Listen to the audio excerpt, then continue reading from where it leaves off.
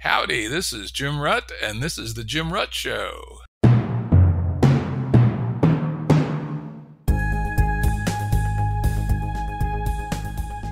Listeners have asked us to provide pointers to some of the resources we talk about on the show. We now have links to books and articles referenced in recent podcasts that are available on our website. We also offer full transcripts. Go to jimruttshow.com. That's jimruttshow.com. Today's guest is Zak Stein, writer, educator, and futurist. He's working to bring a greater sense of sanity and justice to education. Hey, Jim. It's good to be back. Hey, it's great to have you back, Zak, for this part three of Zak Stein. Zak has a doctorate in educational neuroscience, human development, and philosophy, and the philosophy of education, that is, at Harvard. And he's a co founder of Lectica, a nonprofit dedicated to the research based, justice oriented reform of large scale standardized testing in K 12 higher ed and business. We're going to continue working through Zak's very interesting book, Education in a Time Between Worlds. This is part three of us working through that book. And for those who want to get some context, you might want to go back and listen to part one and part two, though we're going to try to keep the conversation such that it makes some sense for those who haven't. And as always, any resources we discuss, there'll be links to on the episode page at jimruttshow.com. So let's start with talking a little bit about technology and education we talked about it a fair amount in the first two episodes, but a lot of it was sort of conceptual and almost philosophical. I wonder if you could get down to some specific examples of how technology is used in, in education or could be used in education, maybe an example or two about not so good use. And what would be really interesting is some examples or at least possibilities of good productive use of technology in education. Totally. Yeah, I mean and it's it's important because we've actually accelerated the trend towards kind of digitally delivered education probably by 5 to 10 years just as a result of the pandemic kind of closing down of the schools and so a couple examples, right? So when you think of educational technology, a few things come to mind, right? One is computers and laptops in every child's hand, right? The other is resources like Khan Academy or YouTube, which are uh, incredible, actually, from a variety of perspectives. So there's this notion that if you simply put a laptop in every kid's hand and show them basically how to use Khan Academy well and step back, it'll all just basically work out. And what's interesting when you look at that scenario is that it's not a bad idea. It's not wrong.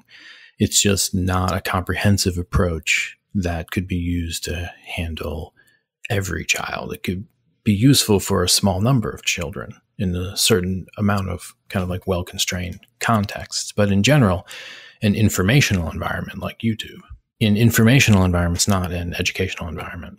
Um, an educational environment is structured in an extremely specific way and involves this dynamic of joint attention and teacherly authority, which we've discussed in the previous episodes. And so the way to think about this is that, and YouTube's probably the best example because if you simply place a kid in front of YouTube, YouTube will capture the kid and basically suggest the next video for the kid to watch based on what the kid has watched. And so everybody kind of knows this, this algorithm. So the question of educationally in terms of curriculum, it's all about sequencing. Like, what's the sequence of videos that the kid watches on YouTube? Why is he watching this sequence of videos as opposed to, say, some other? The answer is that if you just simply place the kid in front of YouTube, the sequence of videos will be given based on an incentive to capture attention to sell advertisements. I wish it was more complicated than that, but it's not. So, of all the possible sequences that the kid could have, let's say beginning a video about some historical topic like the American Revolution, right? There's any number of actually really rigorous, kind of very informative and nuanced sequences that the kid could watch from the simple introductory to the more complex, to the focus on a specific historical incident to then some specific historical characters, right? Like in the revolution. So those sequences exist within YouTube, but they need to be curated by educators, not by algorithms that are mining attention for profit. And so this is just to say that left alone, YouTube is not an educational technology. But with the right structure and a lot of discipline around screen usage, you can curate resources in some of these types of environments to craft uh, really rich sequences of exposure to a variety of media coming from places that you know even five five let alone 10 years ago would just simply wouldn't have been available generally and that's the kind of amazing thing at this moment is that so much of it's there. So much of what we need for a completely decentralized and technologically robust and completely individualized education for every child is a lot of it's just sitting there at our fingertips. But the intermediaries, the content delivery systems, the kind of uh, media and form in which these things are held and presented um, obscures that possibility greatly. So that's a kind of example of like the negative side. And the positive side I already was mentioning, which is that if you create a, a container in which educational technology is used, and these containers are relationships, right, that are characterized by actual legitimate teacherly authority. And for more on that, you can see, I think it's episode one, right? And that we spoke about teacherly authority at length.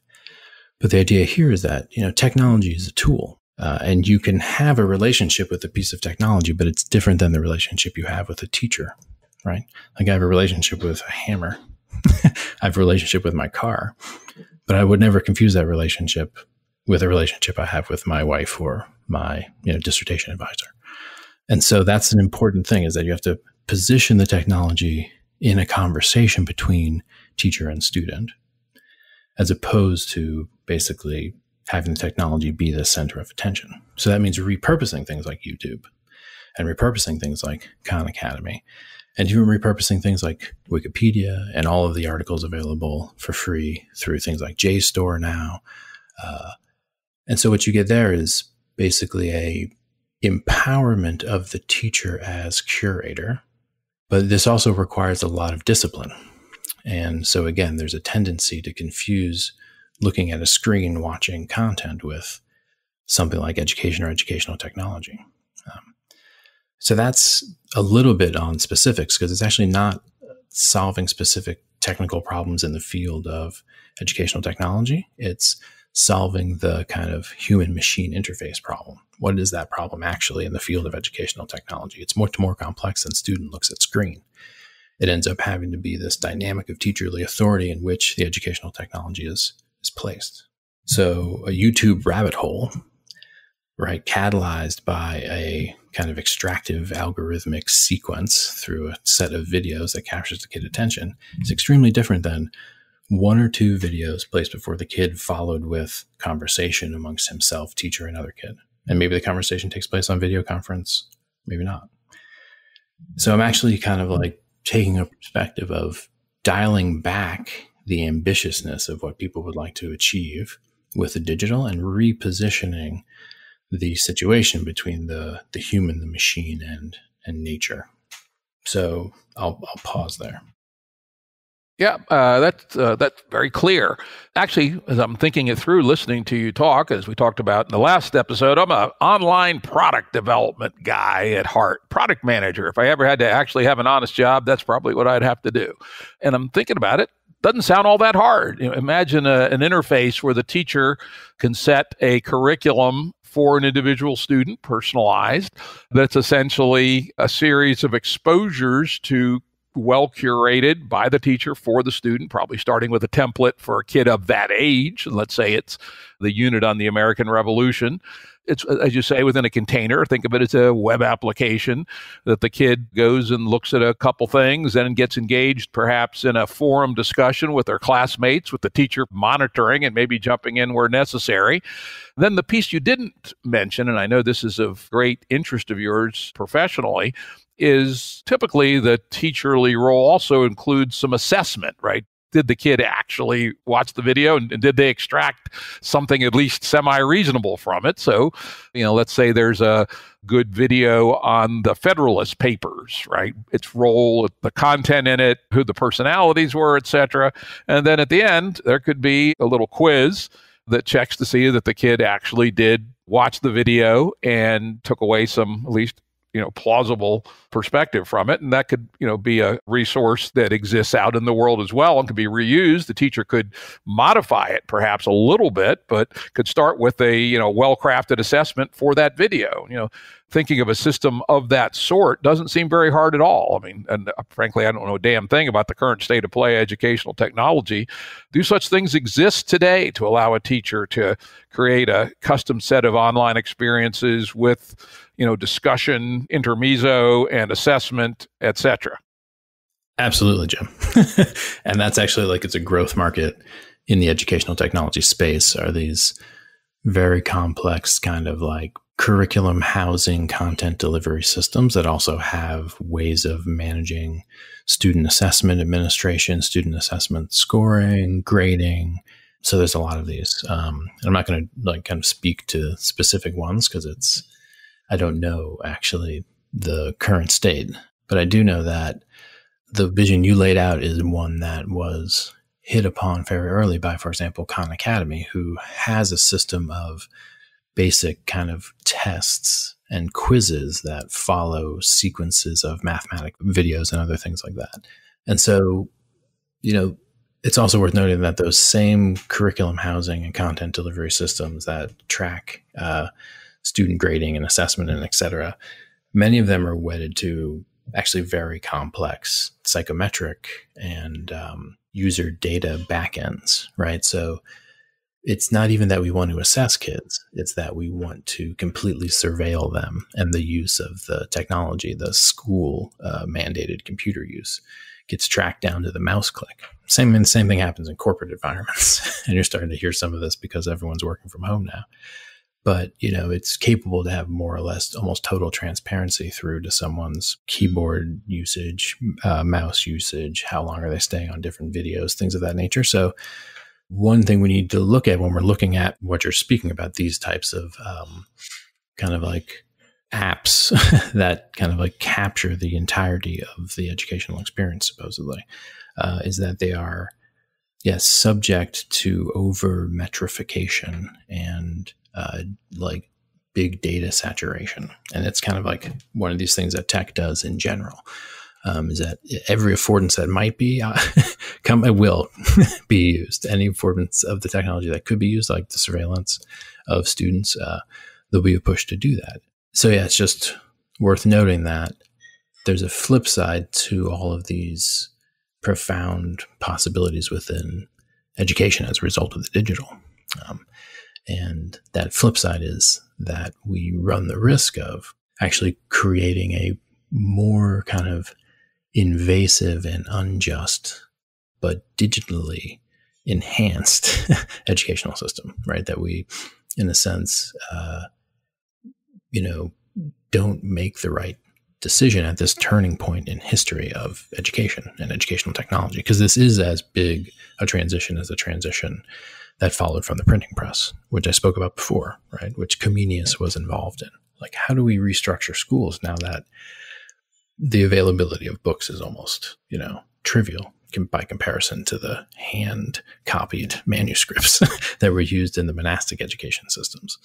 Uh, so that profoundly changed the face of society and the possibilities within education. You know, the textbook became possible, which uh, John Amos Comenius uh, really was one of the key players in seeing that if you could precisely mass produce through the use of the printing press something like a very powerful textbook, uh, then you could use that to organize a, a, whole complex new kind of schooling system.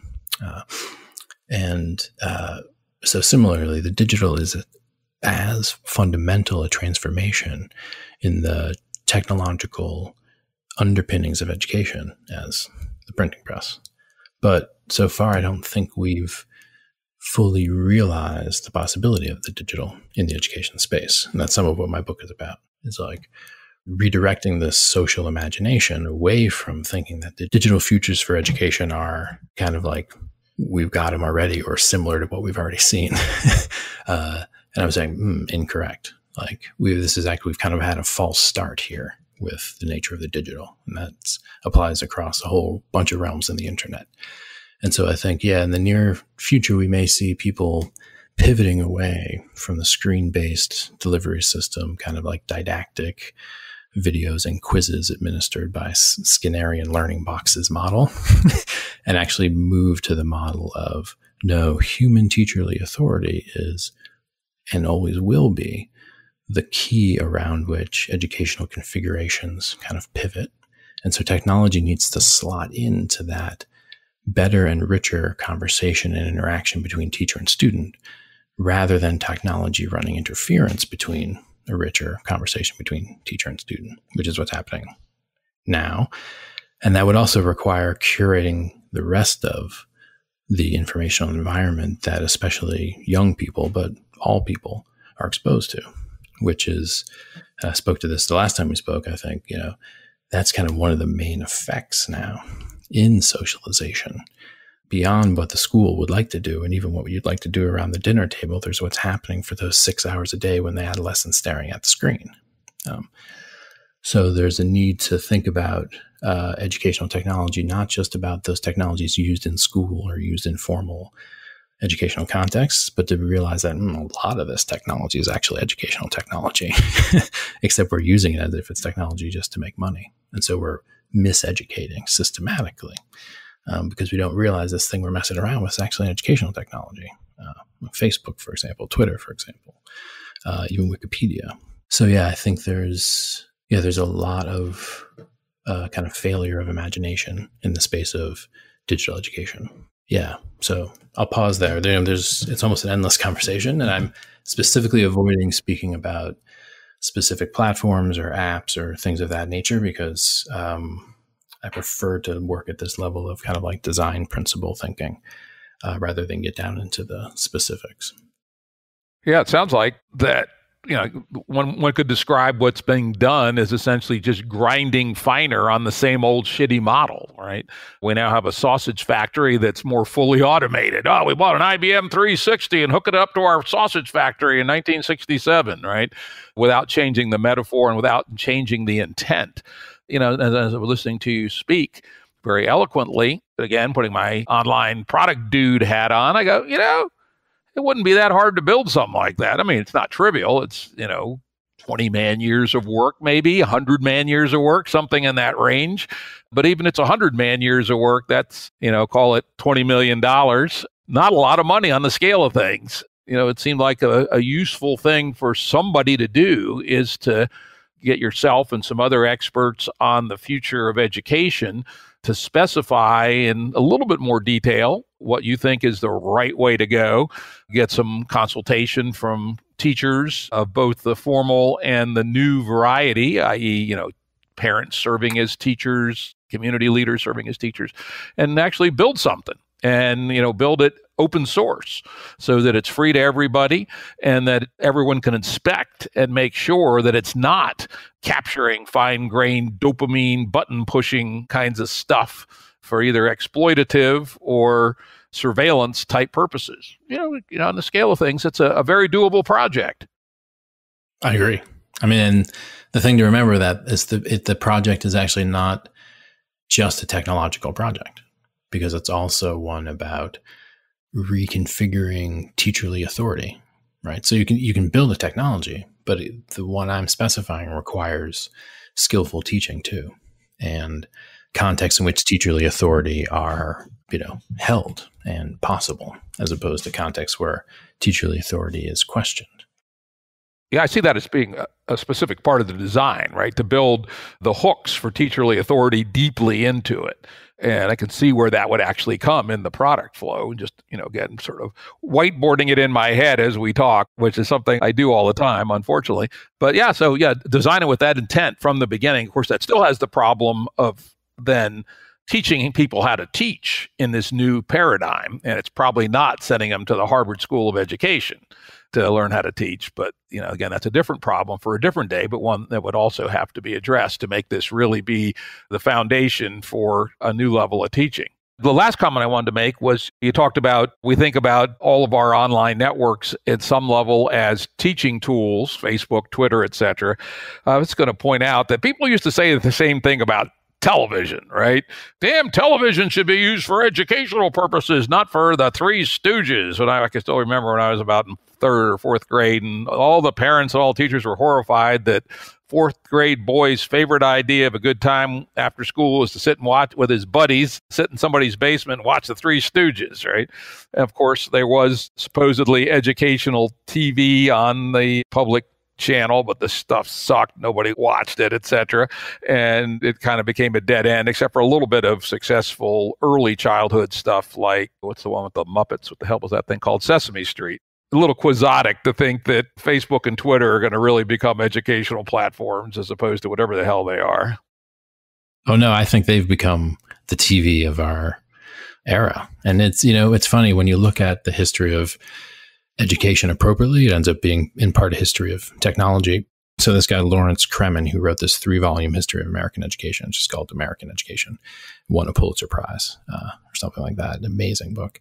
He looks at television, the birth of television, and you know, looking at the rhetoric around TV as it was rolling out in a kind of democratized way across America, the rhetoric around it was that it was the thing that would would accomplish democracy through education and kind of the the, the you know the mass delivery of high level information and and culture. And so when I was reading that, uh, you could have actually like just taken out the word TV and put in the word internet, and it would have been almost exactly identical rhetoric today. Well, not so much today, but more like in the late '90s before everything kind of uh, changed a little bit. And so you had this sense that the internet was the thing that would accomplish democracy through the kind of dispersal of high quality information across the board. But what happened in television is the same thing that happened, incidentally, with the internet was that advertising intervened. and was like, well, you're not just going to give this stuff away, right? You want to use this to make money somehow. And, and so the whole notion that, uh, you know, brought to you by our sponsors, right, which began with radio, but then amplified up and through um, television. So it, it's again, it's you don't want to ever reduce one trend in technology why it went one way to one causal factor, but the case in both the internet and television was that the potential educational use was seen immediately and then all of a sudden did not materialize in the way we thought it would. And in fact, then the arguments became that this is making us stupider. the thing that we thought was going to liberate us vis-a-vis new educational frontiers actually ended up somehow closing off access to education. Now we're stupider because of the television and the internet. So it's interesting. yeah, it is interesting, and in both cases, yeah, as you're right, it's particularly on the internet. I was, you know, as I mentioned before on, on other episodes. I don't remember if I mentioned it in the first two episodes or not. I was involved in building some of the very earliest consumer online services back in 1980. A company called The Source where we had most of what's on the web today. Literally, we had news wires, we had chat, we had bulletin boards, we had email, we had home shopping. You know, it was actually quite remarkable. But because of the cost of the technology at the time. It cost a $100 initiation fee and $10 an hour, right? And go, damn, who the hell pay that? Well, the reason tens of thousands and soon hundreds of thousands of people spent that kind of money because there was no other way to do it. If you wanted to participate in the earliest days of the online world, that's what it cost. And at that time, we were quite sure that we were doing, you know, work for goodness towards citizenship by just as you said, you know, damn, we had a copy of the Constitution online. We had access to all the bills in Congress. We actually went to considerable difficulty to gather that data actually through a third party and put it on our platform. And because of the fact that we were charging a fairly hefty fee, we paid those information providers actual royalties. And it seemed like we were doing the right thing. And of course, because people were paying serious money from a design perspective, it was not our job to hold people online forever because they'd quit. They get a bill for 800 bucks and you know if they don't quit their wife pulls the plug on them, right? And that used to happen from time to time. People people got addicted to the games. And so we specifically engineered the platform to get you the most value for the least amount of time possible so you could get what you wanted and get the hell off. And so their interests and our interests were aligned at some level. But when you get to the world of advertising, it's quite the opposite. The game becomes very perverse. The game is to reel you in and keep you sitting there drooling for as long as possible, irrespective of whether you're getting any benefit or not. And so, as I have said before, if I were a dictator, God damn it, I would just flat outlaw online advertising period. Because online advertising is way more pernicious even than TV advertising, which is bad enough. And the reason for that is because of what you've alluded to in passing and then in more detail in an earlier episode, is because they track every micro behavior. And then, even better, people don't know this, they also blend it with demographic data they bought from people like Acxiom, which has all your magazine subscriptions, when you vote, do you have a hunting license or not, what car you own, etc. And they're micro manipulating you at an unbelievably low level. I frankly think it's goddamn immoral, and that if the citizenry really thought long and hard about it, they just flat outlaw online advertising. Totally. And you have to see advertising as a form of education. I mean, that's, you know, it's like, again, back to Comenius, he said you have to see society sub specie educationis, right? Like, so you see all social phenomenon under the kind of sign of education. And advertising is education. It's actually one of the main educational forces within our current civilization, which is one of the reasons we're in a self-terminating civilization. yeah, it's in the it's in the business of convincing you that status comes through possessions or positional goods, right? Yeah, it's in the business of teaching you basically about things, about products, and teaching you about lifestyles, teaching you about value and about the nature of relationships and what's normal what's healthy, what's unhealthy. It's teaching you about what is disease and what's not a disease. you know, I mean, it, it's a remarkable number of things that that advertising actually teaches. And then there's a hidden curriculum advertising deeper, which is the layer that you're getting at, which is that it's teaching you something about who you are, what the identity is. And, you know, at a certain point with television, advertisement became a, an important effect in adolescent identity formation. But when everyone had in the palm of their hand uh, an endless stream of customized advertisements, then I believe that we started to see advertising step into more fundamentally dysregulate identity formation than at any point prior. And some of what we're seeing now in the adolescent kind of mental health crisis is that it's that the main effect of their educational experience has in fact not been in schools from teachers or mom and dad but it has been something like this total saturation of their informational environment by advertisements or proxies of advertisements um, which is to say things that the advertisements work parasitically around um, and things that are indistinguishable from real life and advertising. So get that that's happening, right? That there are in the worlds of social media and actually in, in the real world, uh, almost guerrilla hidden advertisements it's thought up by you know brilliant advertising executives that blur the distinction yeah, product placements, famous, right? And these goddamn influencers, right, with their product placements. It's just corrupt. God damn it. Anyway, let's go on to our next topic. We could probably both vent about the, the evils of online advertising for three hours.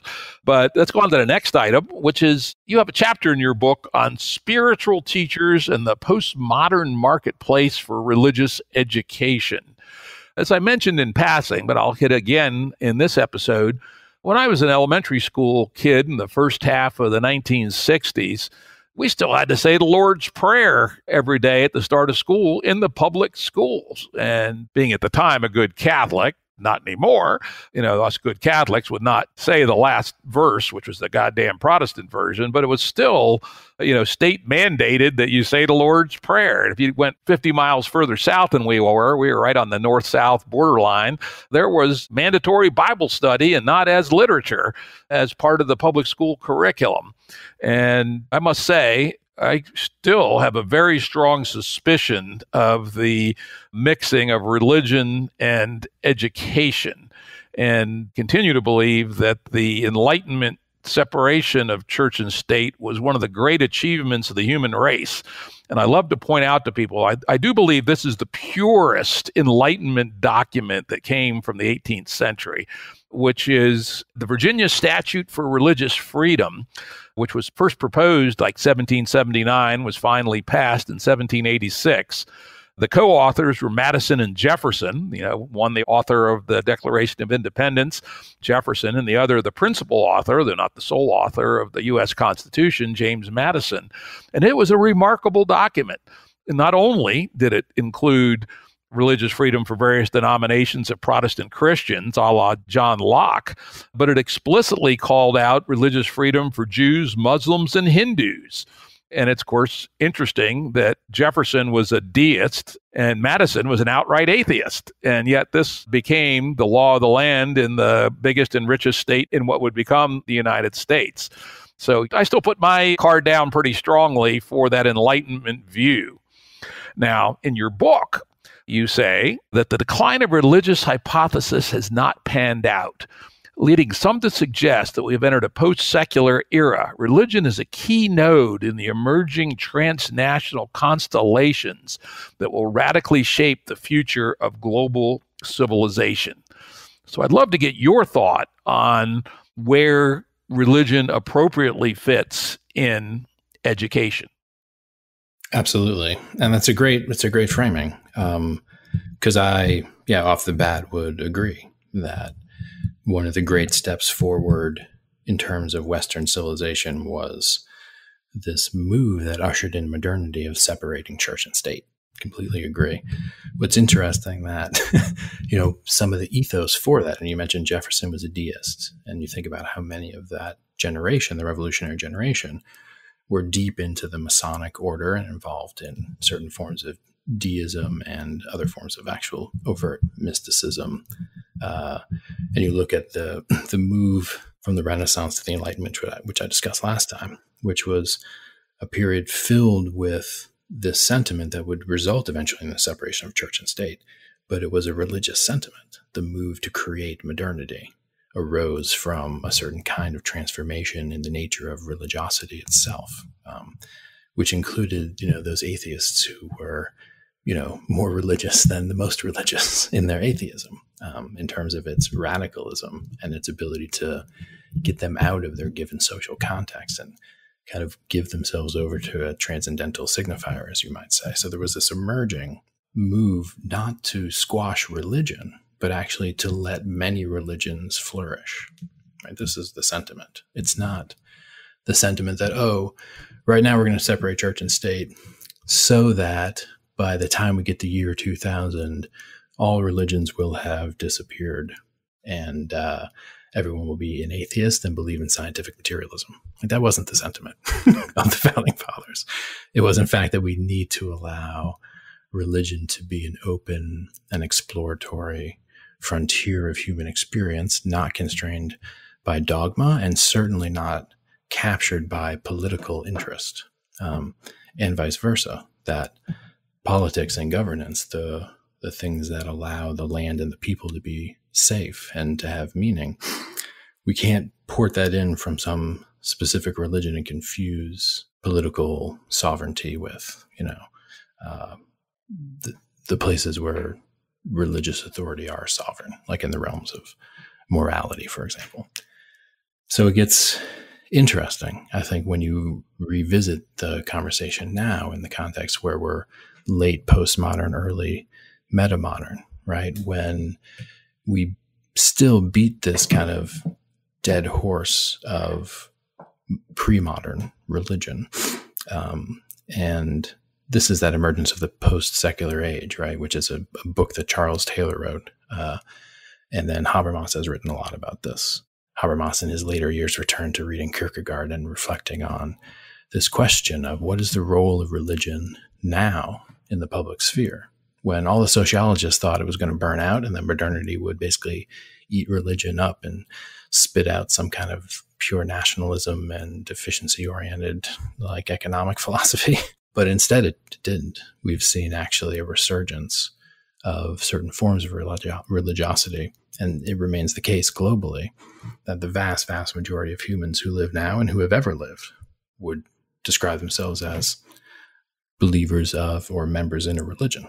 And yeah, so the question then becomes all right, separation of church and state is in the interest not of squashing religion, but in the interest of allowing religion to actually be an independent kind of area of human interest. And you've seen that in America. You know, America has pioneered the religion of no religion, right? Mm, especially with the human potential movement in the 60s. And, and so you're looking at two ways to think about the question. You know, one is that, well, there's no place for religion at all in education. Education is just about science, right? And just about facts. But now you've just made science a religion. so uh, there's a way that we need to think about the curriculum of educational configurations uh, as about capacitating individuals to consider the questions of religion and to consider the questions of science rather than the educational configurations being the delivery of certain scientific truths or the delivery of certain religious beliefs. This is a key distinction. And it's deeper than the question of is religion in school or not, because it's at the level of epistemological orientation of the curriculum. And so you can do the thing where you compare the worst forms of religion to the best forms of science, right? Where it's like, aha, stupid religious people, look how smart the scientists are. But you can also do the thing where you compare the worst forms of science, right, captured by industry interest and simplified causal mechanisms and really bad manipulative statistics and iatrogenic harm and a whole bunch like the worst kind of science. Uh, you compare the worst science to the best, most sophisticated religious worldviews, right? And then you can be like, oh, you silly simplistic scientists. There's, of course, a bigger story. Um, and so either of those approaches are wrong right? But that's what you see in the so called science religion debate, which is not really a debate. It's mostly, uh, well, I'm not going to get into what it is, but it, it's, you know, and this is, again, when you, when you're talking about religion in schools now uh, in the United States, uh, you're often even given the question, like someone's asking the question, they're asking it from the presumption of, as, as you began with, like, you know, the worst of religion, uh, compared to kind of the best of what's you know rational and scientific. I'm saying that's a little unfair. That in fact, were we to begin to reimagine having religious discussions within educational context on a broad scale, um, it would precisely have to be the most sophisticated religious views. You know, just like if we were going to bring science in the schools, we wouldn't bring in science from the 1890s, right? we'd bring in the best science we could. So we'd want to bring in the best, most sophisticated, articulate, religious and theological and metaphysical forms of conversation. And it's just worth noting that as someone who studies human development and looks at the way the mind changes and transforms over the course of the lifespan, um, you see that religious questions about ultimate concern this is Paul uh, Tillich's phrase, to think about what's the subject matter of religion. It's the things of ultimate concern. That these are perennial questions emerging within the human mind, and especially at certain ages, adolescence, for example. And so the need to have a place to resolve those forms and address those forms of kind of inevitable, uh, uh, inevitable questioning that's I think a responsibility as part of intergenerational transmission. And so, you know, there's uh, I think a need, and this is what I speak to in the, my book, a need to rekindle those spaces where we can discuss what is of ultimate concern, that we can have incredibly reasonable and articulate, com- complex, nuanced, scientifically informed conversations about those things that are of ultimate concern, right? Because if we don't do that, then we'll only get irrational fundamentalistic, kind of simple discussions about things of ultimate concern, right?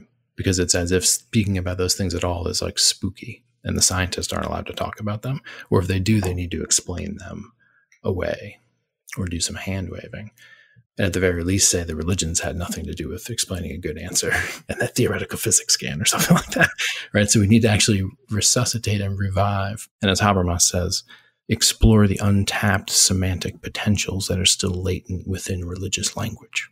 And he believed that those untapped semantic potentials still latent within religious language that they provided resources precisely quote to protect vulnerable forms of community life um, and so when you think about that it's interesting like you know death and dying classically the province of religion for better and for worse right so much death and dying goes on in hospitals now so much death and dying is hidden so much of death and dying is not for discussion, for display. Um, and so this has become a vulnerable form of community life that we make any sense together about death, dying. Um, and so that would be an example where it's like, yeah, what what do we say to kids about death?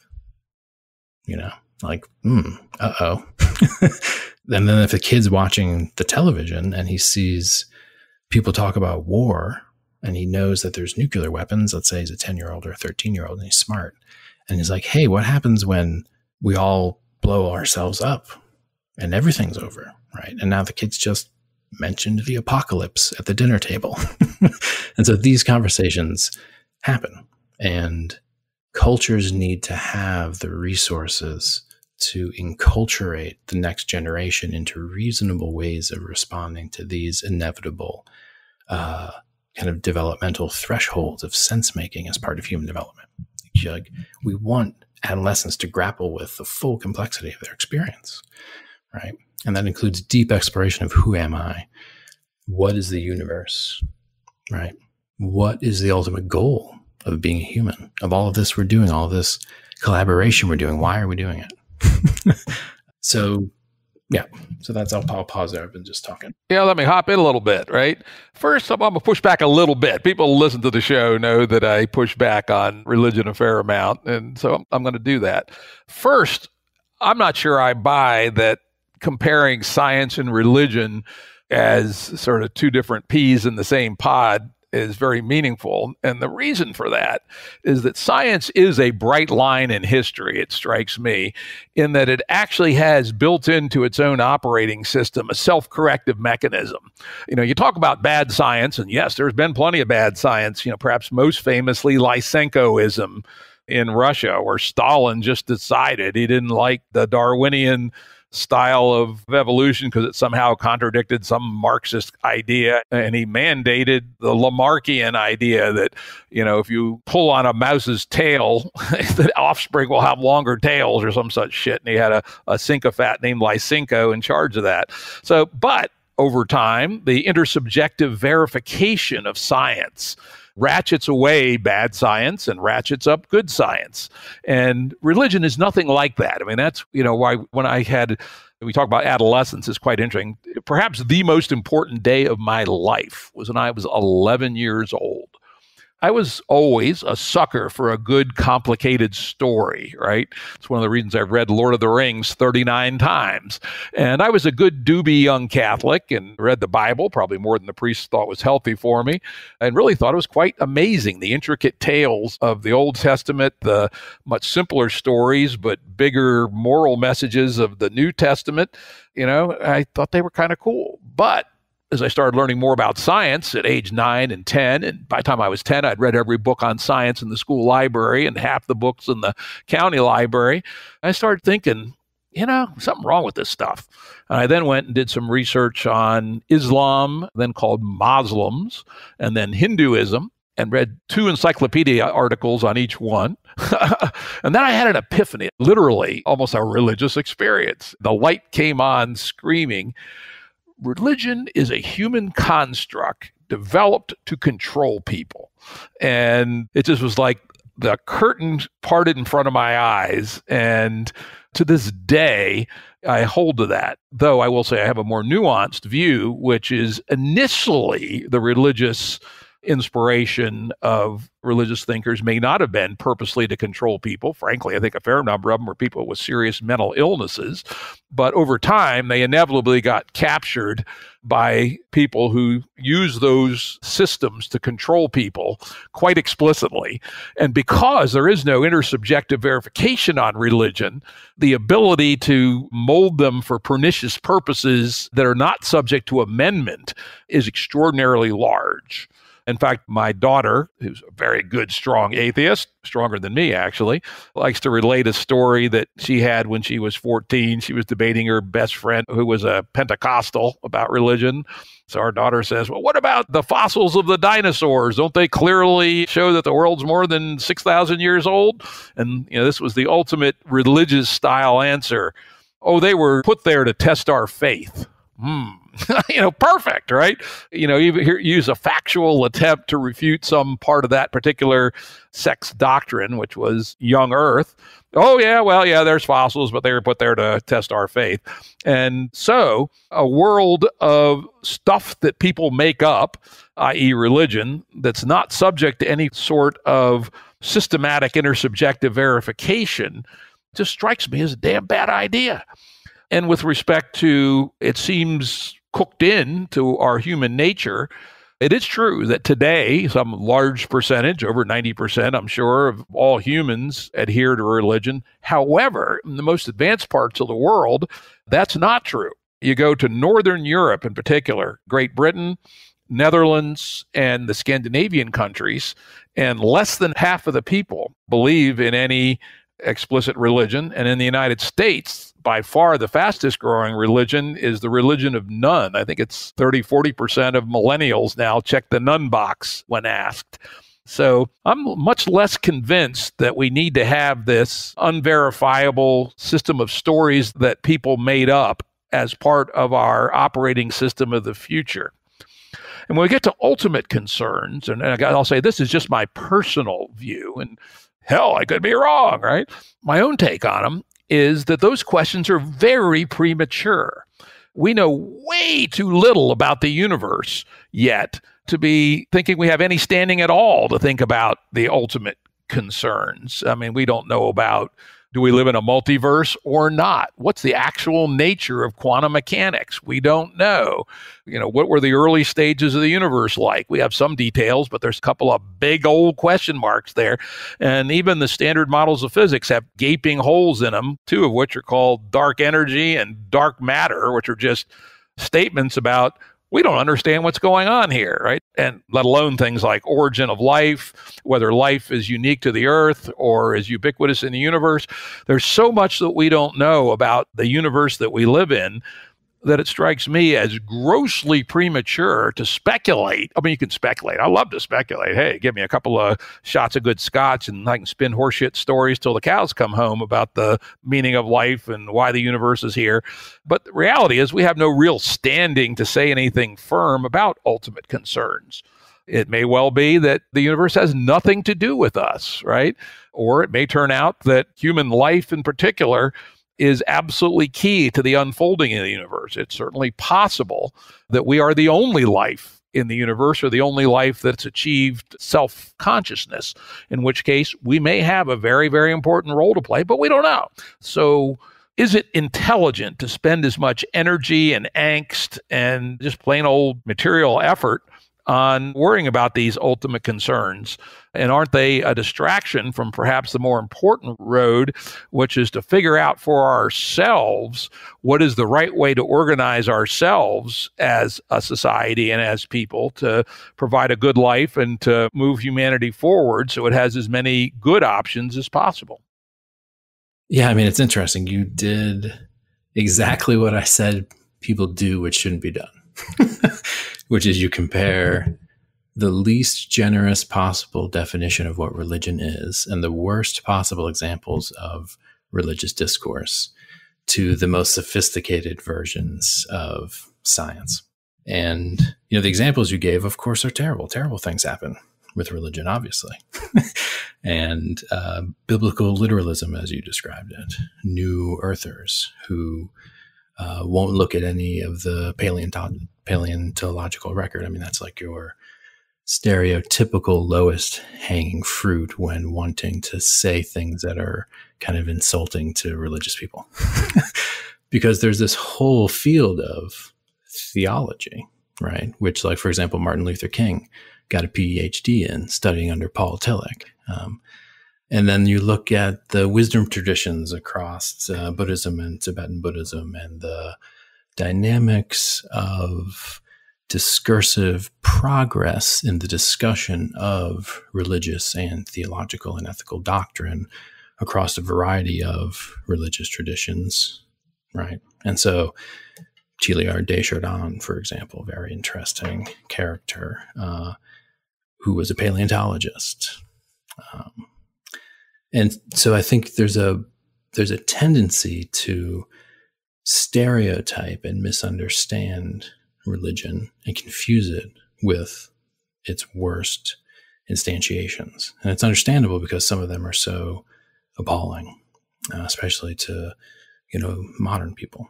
But uh, simply understanding religion as something that's a made up bullshit story used to control people. I mean, I don't have to tell you that sounds like a very simple understanding of something that's been a rich, rich part of human culture since there's been human culture. And that this science that you love actually was a refinement of sentiments that began within religious context that had to do with a commitment to truth and a commitment to community, trust, and a variety of things that were actually at the backbone of modernity. So, yeah, so I would say to really have a conversation here, we need to get a sense of a sincere grappling with the intersubjective components of religious discourse, which Ken Wilber speaks to quite a bit characterizing progress within religious traditions, like just like there's been progress within ethical traditions uh, and progress within scientific traditions, um, and that there are different levels of religious discourse and religious engagement, different degrees of maturation within religious practitioners in terms of the their ability to uh, work with religion as a set of practices and beliefs that is always evolving and growing.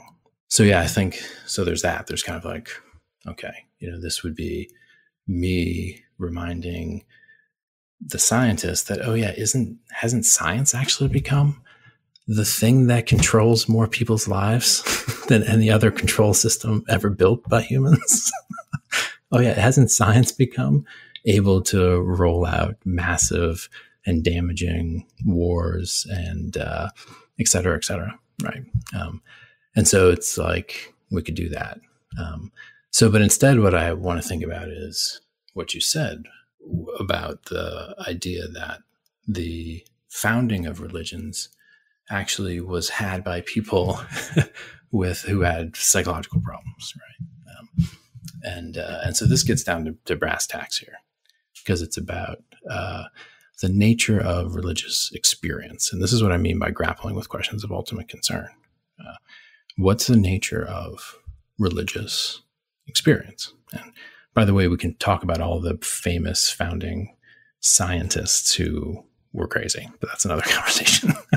right. So it's like to say that the beginning of a tradition is problematized because the founder is crazy. It's like, that's, uh, it's also a, a problem. Uh, the, so yeah, so, you have to grapple again back to Ken Wilber. There's a way of actually entering the the discourse again, which has been going on for many like thousands of years in some cases, entering the discourse of religious practitioners and getting a sense of what are the validity claims raised within the context of religious practice and discourse.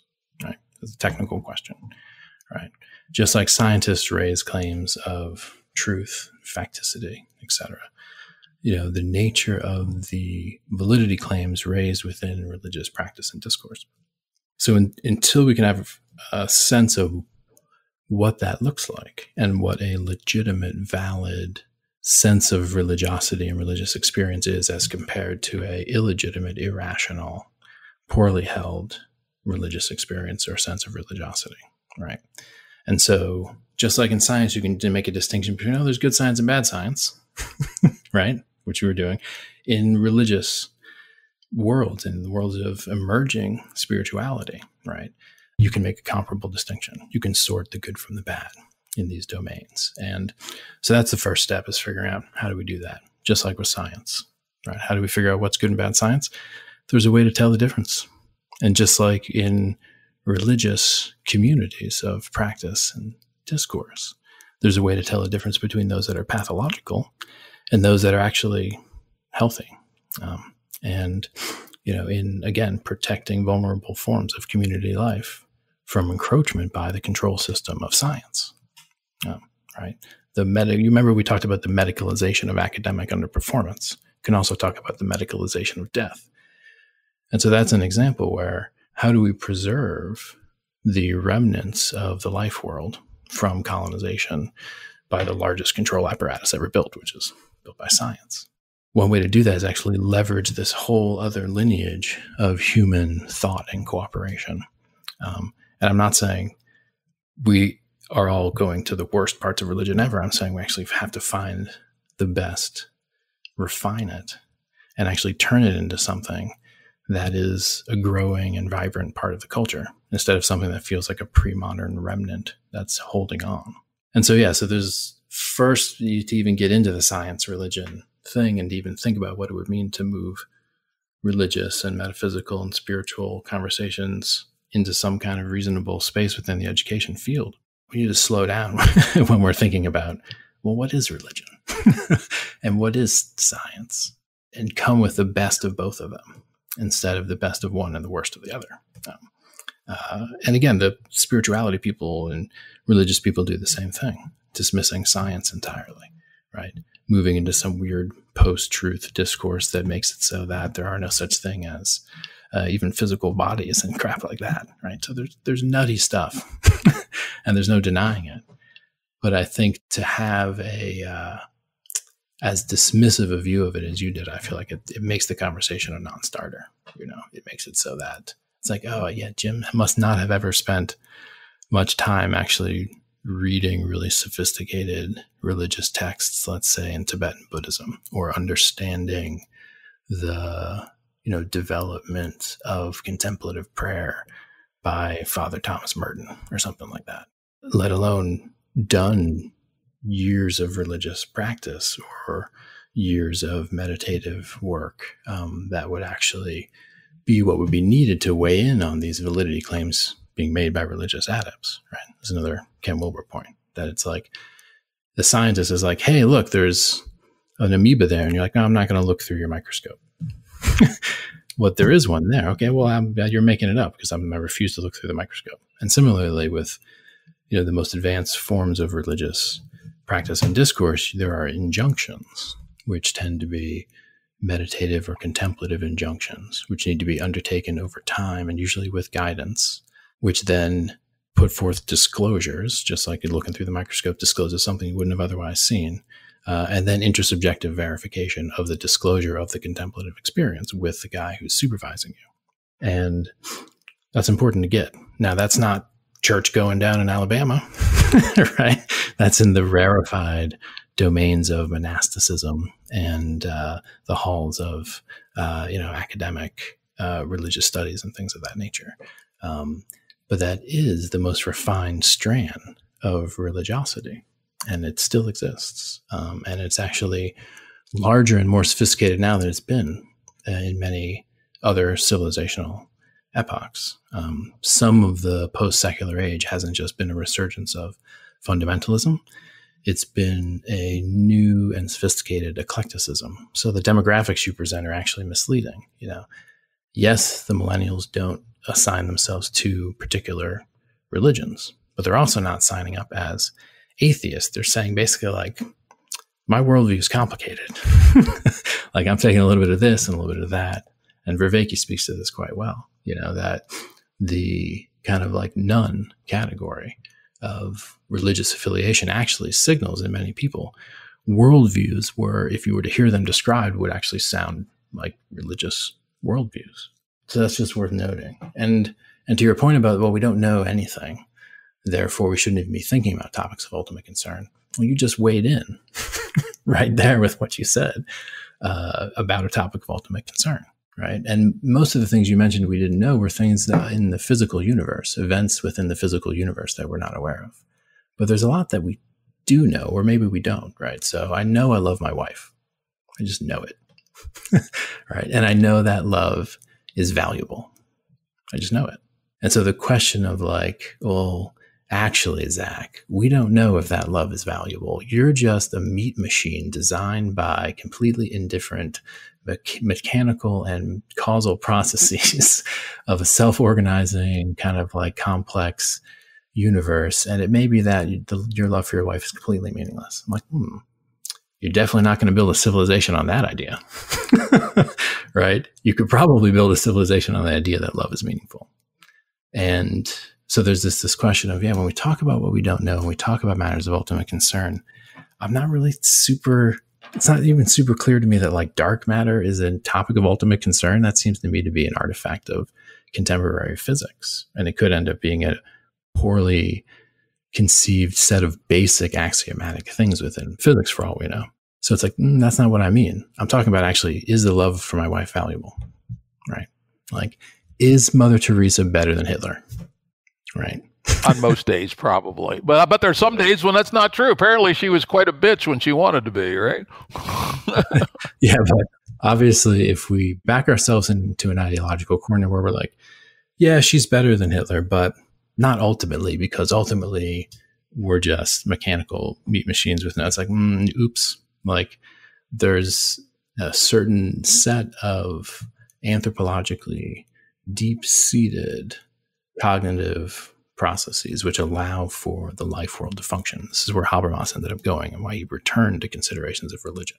And so there's a certain form that scientific argumentation can take where it begins to undermine through its own theorizing the conditions for the possibility of action orienting self understanding at the level of the individual person, which is to say, if I argue through neuroscience that you actually don't make choices and are not responsible for your behavior, that you're a purely causal system.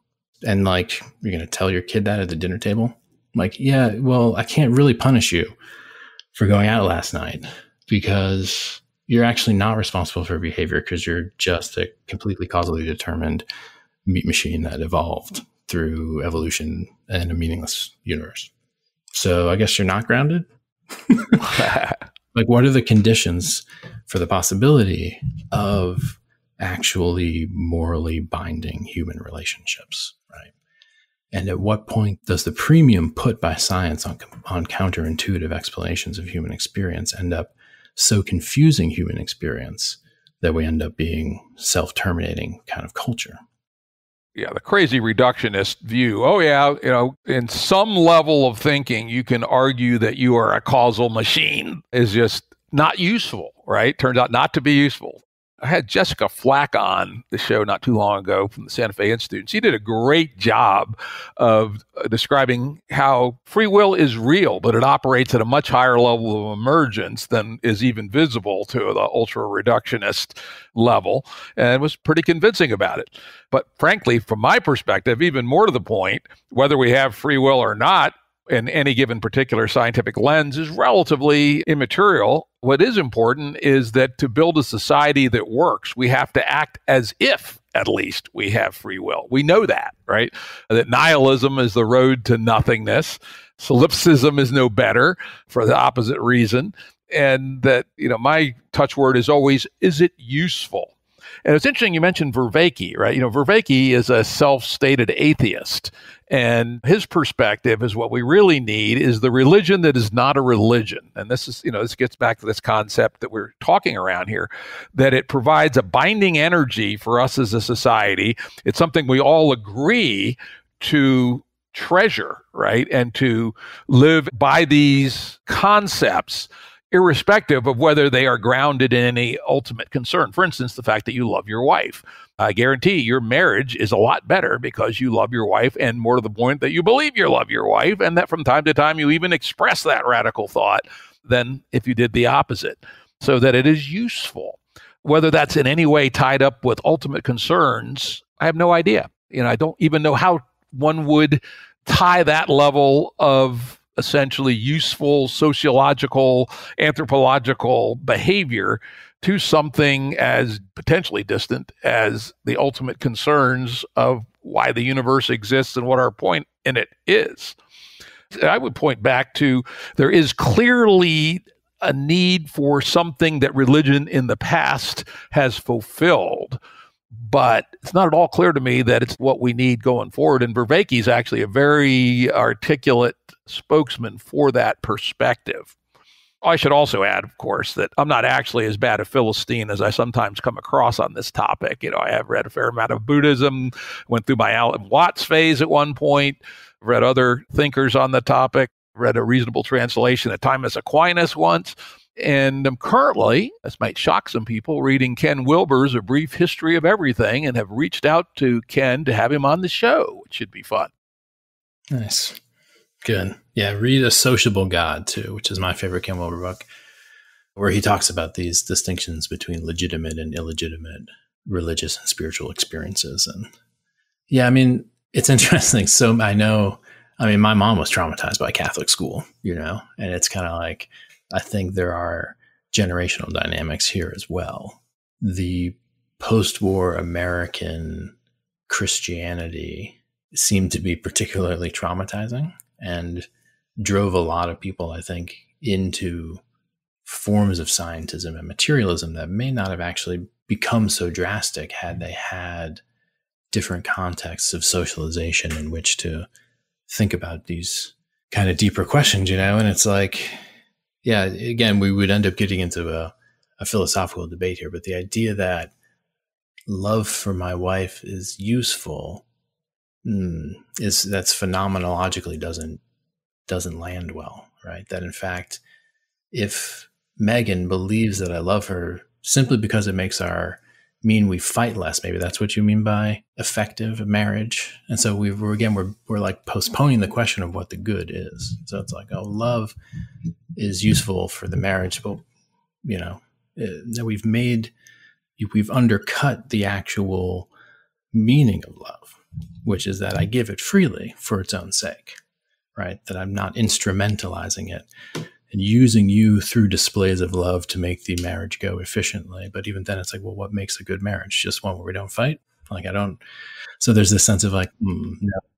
Yeah, much deeper than that. We could, again, we could spend two hours talking about how we are animals who have regulatory systems of you know oxytocin and other neuromodulators and something like love is imprinted in our neural makeup that causes when we feel like we're loved oxytocin to be released and that those are binding energies that help a relationship survive ups and downs you know. So there is a, you know I, we could go out for an hour at least on that topic alone. But let's get out here we'll agree that at least at this point we have a somewhat different perspective on this because i do want to get to some of your other interesting ideas about religion which is that we in the West, in this post secular world, as you started to say, have now a whole lot of things that are religion or spiritual.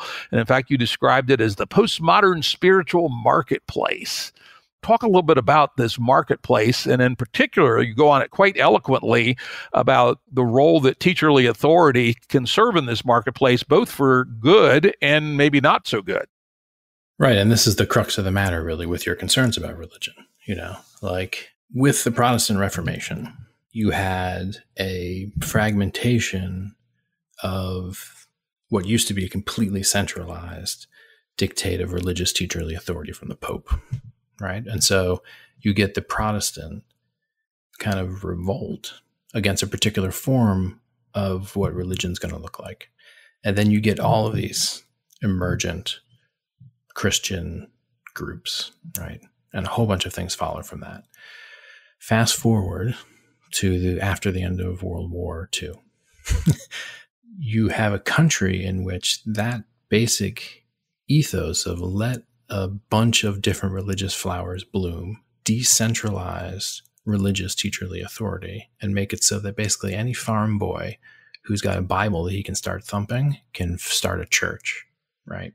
and you get the beginnings of what is now this new age spiritual marketplace. After the Civil War, there were several great awakenings. Uh, one even before that with um, Jonathan Edwards starting in Northampton. I think uh, I can't remember the exact dates, but there were two great awakenings in early American history. Uh, and then after World War II, you get another kind of great awakening, but it had to do with an influx of non Christian religiosity into mainstream America. Um, but understand it was America that was already fragmented in terms of the way it understood teacherly authority in general and beginning to fragment all forms of authority because of basically, you know, the McLuhan esque shift into these forms of mass media that were occurring at the same time.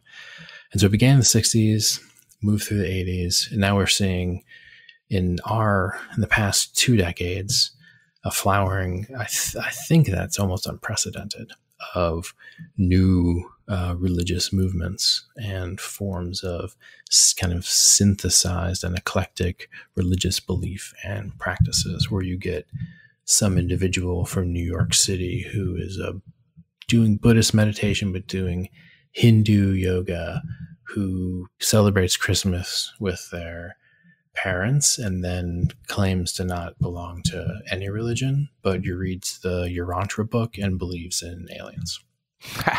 right. So like, okay. Like that's an that's interesting. Like that's pretty common actually. I think I know that guy, right? Right. So yeah, so you have this radical eclecticism in the United States for a long time with regards to what counts as a legitimate religious teaching.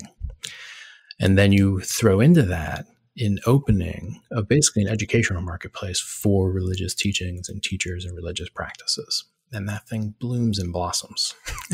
and so now you can, if you wanted to and had a ton of money, you could spend all your time consuming one form of spiritual practice or religious ceremony or teaching uh, or another. I mean, there's just so much. And so, and New Age doesn't even capture it because a lot of this stuff is actually legit, you know, religious lineage holders, like from Tibetan Buddhism or uh, gurus in Hinduism, um, you know, monks who lead contemplative prayer retreats in the Berkshires. I mean, there's just so much that's possible. And so, well, when you see a marketplace like this in any marketplace, it was like, well, what the hell is quality control? right? How do we regulate the goods for sale in this marketplace, right? Because this is potentially dangerous stuff. Like this is stuff that you start cults with. And by the way, more, more and more cults are springing up these days. Uh, and that's part of the dynamic of this kind of marketplace of, of religious ideas. So I asked a, a basic question when I was working in the integral scene with Wilber and Gafni and others. And it was like, yeah, how would we exercise quality control in the spiritual marketplace? And it ends up being an interesting question because it you have to put your finger directly on the question that you were already raising when you were critiquing religion so much. It's it's that well, what the hell? How do they argue make that argument? That's a terrible argument. Or on whose authority do you say that? right? And what about the authority of science vis-a-vis your so-called authority from the Bible? So it ends up being this basic how are we judicious with the consumption of religious goods? You know, you propose one really useful criteria of quality control in the marketplace of religious ideas. Are these ideas useful at all? right? Do they help us do the things we need to do as people? Right? Or are these ideas actually not useful, distracting, uh, extractive? Right? They're obviously just done to make a buck or to confuse us enough that then we can be manipulated and etc. So I love your criteria of usefulness, um, but there are other ones, um, and I speak to it, you know, somewhat at length in the book, um, pulling upon Ken's work uh, and the work of other people who have thought long and hard about, you know, the way, uh, again, communities of religious discourse and practice have worked for millennia, and then thinking about the transformations that set in with modernity, and looking at the emerging kind of non institutionalized religious forms that are innovating with religious discourse and practice. You have to look across all three of those because all three of those exist. Um, and you have to think about uh, the dynamics of teacherly authority in the context of religious engagements and spiritual engagements. Um, and so that's that's some of the way I frame it. So I'm not going to get into the details, but you know, it's you take a broad brushstroke and you start seeing just how much is out there. And some of the stuff is, as Habermas called it when he reviewed the scene briefly, you know, Californian neo pagan claptrap. That's what he called it, which is I don't know what that would have been in the original German. It's a good phrase. And then some of it is actually distillations of thousands of years of wisdom that would have been impossible to have found, let's say 10 years ago, 20 years ago. So that's what you have to get. It's like for the first time in history, all of the teachings from all of the major religions are available to the vast majority of people who are interested enough to find them.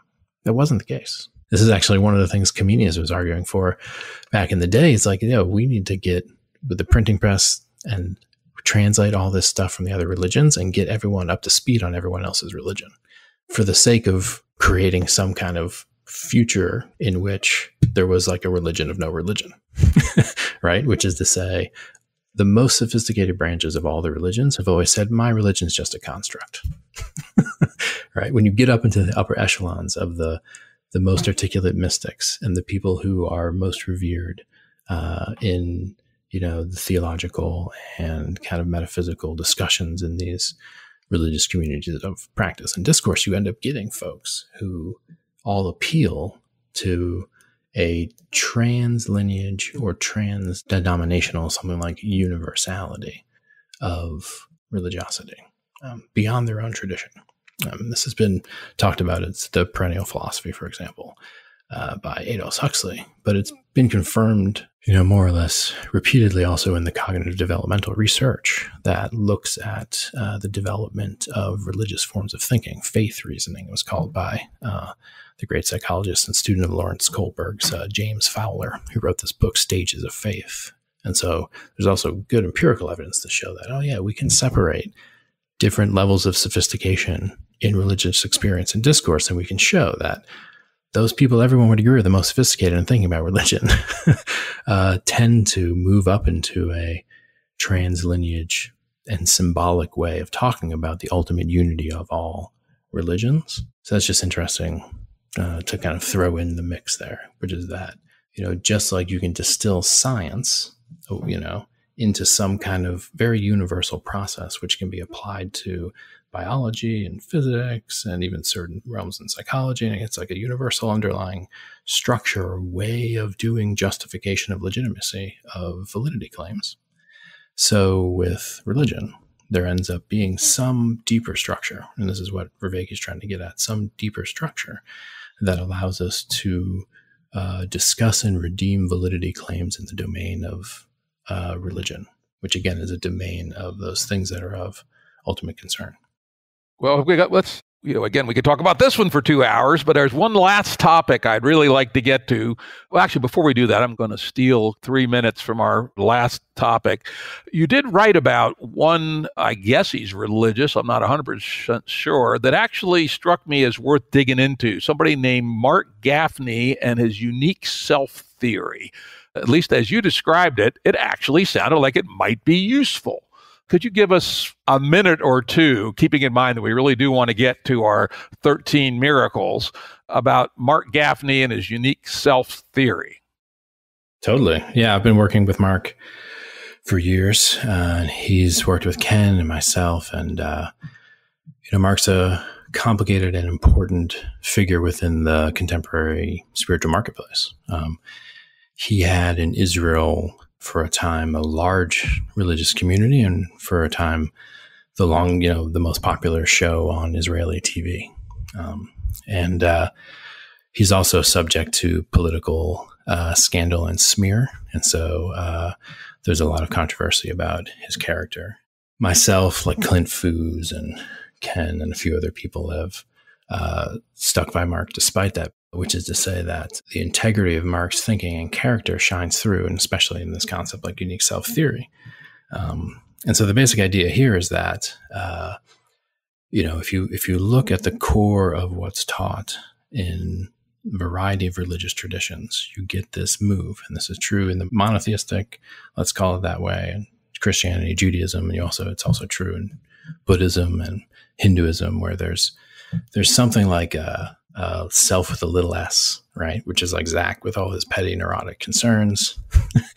uh, but sometimes, if you do a lot of meditation or a tragedy occurs or something else kind of breaks the, the little Zak out of his comfort, there's an actual revelation in one's own experience, which is say, a phenomenologically, it's just there, an experience of like, whoa, self with a capital S, that there is a consciousness that's larger than little Zak, which is kind of weaves Zak into the fabric of everything. And so this is a kind of experience you might have on a meditation retreat, or sometimes people get it doing a lot of drugs, where there's a sense of like, whoa, my previous experience of self was completely limited and tiny. I am actually something more like all things. So that's self capitalist. This is your classic sense of what enlightenment is, right? That's that notion, the classic like Neo in the Matrix, like, whoa, like, and he's seeing all of the code of everything and his interrelation with everything, and like it's all one. Um, now, the problem is that that's not a useful idea from your perspective. like, it's a relieving idea, right? It, um, which is to say that it is soteriologically potent. It relieves the self from its suffering and brings the self up into a much larger frame so that Zak could be relieved of fear of death. Zak could be relieved of fear of separateness. A whole bunch of things are overcome by the realization of the so-called true self, capital T, capital S. And this is what you hear in a lot of Buddhism and a lot of New Age discussion, and a lot of discussions from Advaita Vedanta and um, other religious traditions that emphasize leaving the personal behind and moving to the impersonal big S. Unique self theory proposes that there's actually another turn. This is a fully non dual way of thinking about religious experience, which is that, yeah, but even after you've had that experience of true self, you are still within a unique position and context with unique proclivities and potentialities and relationships so that it's not that all differences are kind of like eclipsed in the glory of oneness. No, that's a temporary state experience. on the other side of that, there's a return to individuation on the other side of ego. And this is what Maslow sometimes sometimes called self-transcending, right? So you see the small Zak, you transcend the small Zak and touch the big self, and then you return to the uniqueness of who you are, where you are, when you are, now, here, uniquely, just this, right? So that's the non dual realization, where enlightenment doesn't become something you can only do on the cushion with your eyes closed. That in fact, it's a commitment to consistently act from the place that is uniquely yours to act from, but beyond your particular attachments to little Zak. right? So it's it's a way of thinking differently about what is being offered from some of these meditative traditions, which can be misread as a retreat from the world into the big S, right? The big self. Everyone kind of like relieve themselves of responsibility and disappear into kind of like a amorphous oneness with all, right? Uh, and that's the kind of stereotypical view of many Eastern traditions. Um, and uh, what unique self theory says is that mm, that's you haven't gone fully through, uh, and you've ended up kind of like checking out. When what you need to do is check back in, but without the commitment to egoic concern. Um, so unique self theory would undermine all of those forms of teaching that focus on spirituality and religiosity as being about the homogenization of identity and experience towards a single ideal of the better human or the enlightened human or the wise one, right? So it's like, according to unique self theory, you could never have something like a guru in the traditional Hindu sense because, you know, when you're worshiping a guru in the traditional Hindu sense, you are trying to become identical with what the guru is identical to already, right? Which is to say, you're trying to find the true self, the only one. There's only one true self. uh, you're trying to find that through the vehicle of the guru. Mm, but that maybe have worked in like a pre-modern society. But in a meta-modern society, there's a need to actually have this um, realization of the potency of each unique individual. This is kind of the burden of our time in a way. Uh, and so, yeah, actualizing uniqueness requires disidentifying from the simple frontal personality, which is actually not unique. That's the thing that's captured by advertising. That's been homogenized by the schools. That's been homogenized by traditional religious teachings. Um, so there's a certain uh, kind of radical core to the unique self teaching that brings certain forms of spiritual and religious practice out of the realm of escapism and into the realm of something like uh, theurgic activism, right? Uh, theurgic being a term that means basically like the actions of God. Mm. That my hands are the hands of God, uniquely positioned here, as opposed to the experience of God being one in which now I don't have to do anything with my hands because I'm saved. it's the opposite. It's the experience of being, whoa, I have these hands. These are the only ones that can do this unique thing that's mine to do. Yeah, good stuff. I, you know, I, I liked it, and I put it on my list. After I read some Wilber, I'm going to go read Marc Gafni. And what was really interesting as I was reading it, and even more so as you were saying it, is it's not far at all from my view on what's going on with religion and why, at the end of the day, most religions with their most advanced practitioners are saying pretty much the same thing. Mine is a cognitive neuro argument, which goes as follows is that the brain is a series of networks and cycles and rhythms, but it falls into some stereotypical attractor networks. Basic configurations that vary in real time, which is how our consciousness is modulated and how our unconscious is modulated behind the scenes. But they fall into you know some broad classes the two most well known are the so called task mode network, for instance, if you were doing a very a detailed task, is the pure example of the task mode network, particularly the first time you do it. Take, for example, when you were eight years old and you changed the tire on your bicycle when you got a flat tire, fixed the flat you know, disassembled the gears, took the rear wheel off, pulled the tire off the rim, patch that you probably had your father show you how to do it or your older brother and put it back together again. That's classic task mode network. The other very well known big network is called the default mode network. And that's where you're daydreaming, just sort of spacing out. We'll also say it's the network that you fall into in the earlier or lighter stages of meditation. But there's another network, which I call the mystical experience network. You know, we talk about having mystical experiences. I've had plenty of them right?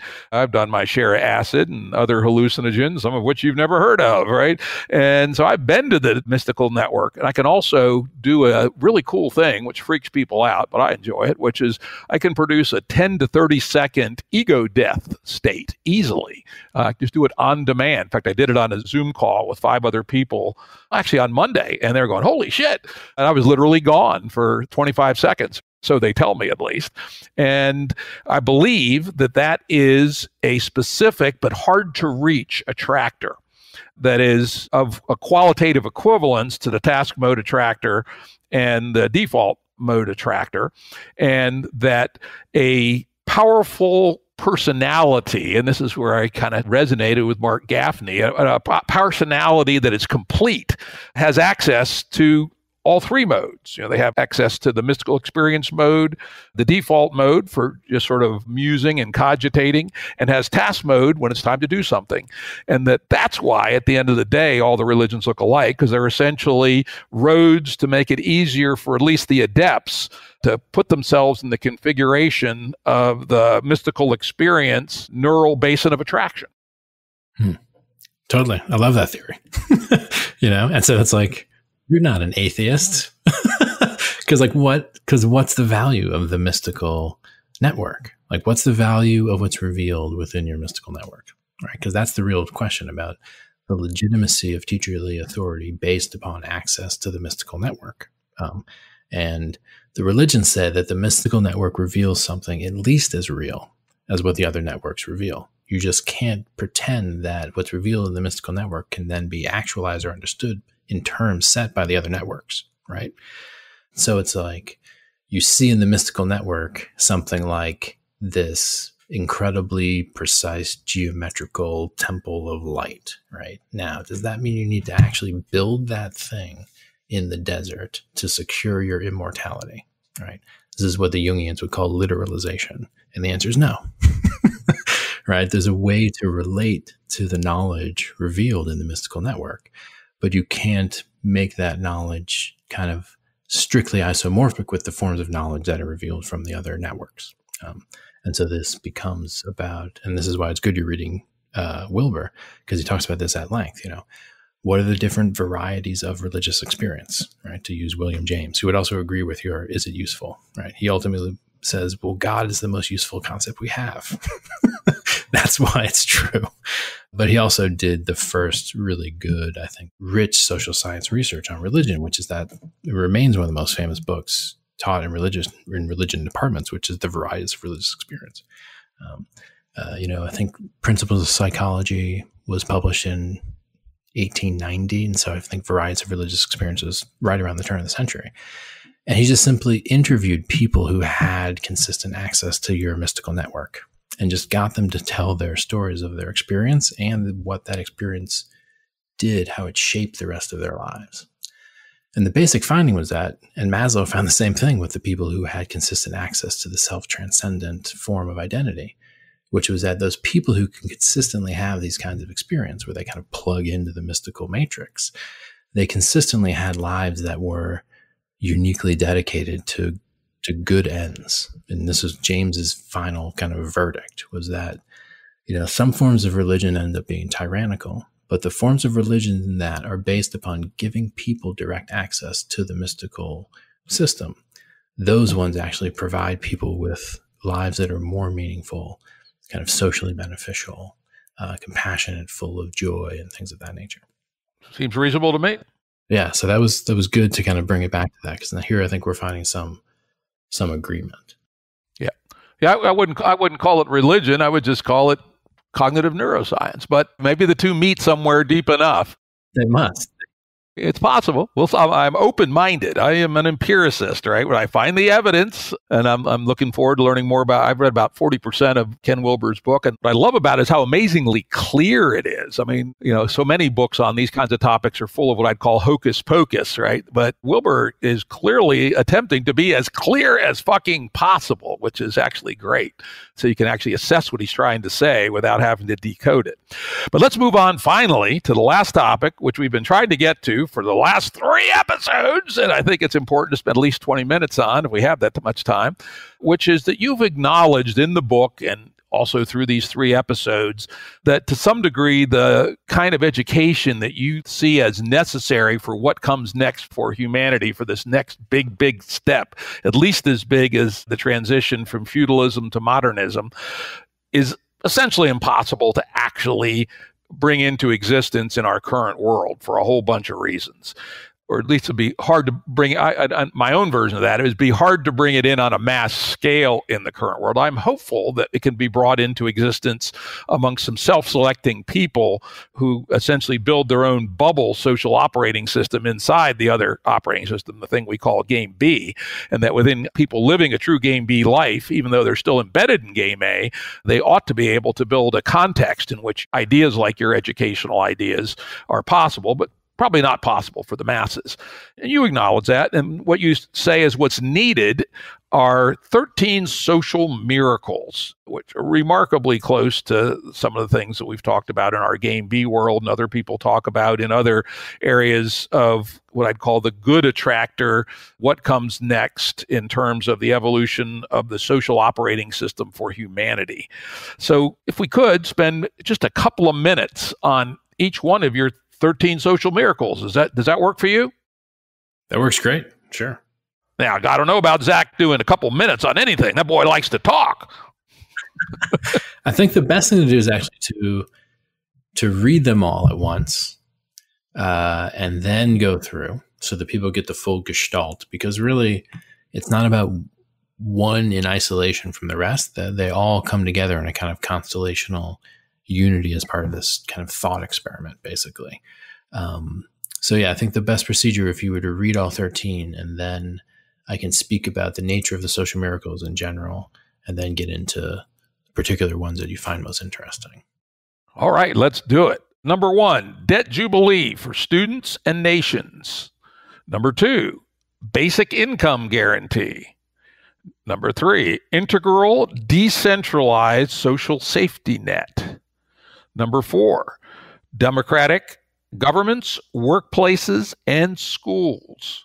Number five, public regulation of investment and finance sectors. Number six, legal and economic systems that value the biosphere for its own sake. Number seven, renewable and inexhaustible energy. Number eight, reapportion of the land, agriculture, and geography. Number nine, total planetary demilitarization. Number 10, mutual respect between major religions of the world. Number 11, absence of oppression based on race, gender, sexual orientation, etc. Number 12, universal de-alienization and rehumanization. And number 13, science and technology in the interest of the human. God damn, where do I sign up for that? the future, Jim. Let's build it together. We got to build this sucker.